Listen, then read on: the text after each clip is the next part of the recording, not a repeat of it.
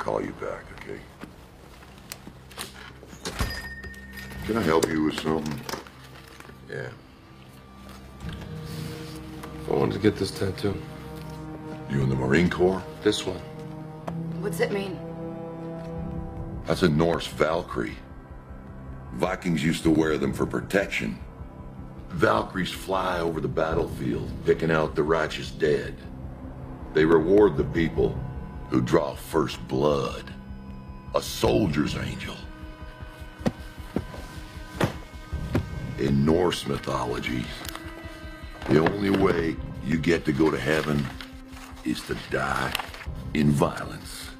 You die in your sleep, you go to hell. Protection from what? Huh? What do you mean, huh? You said people get the tattoo as protection. What are they afraid of?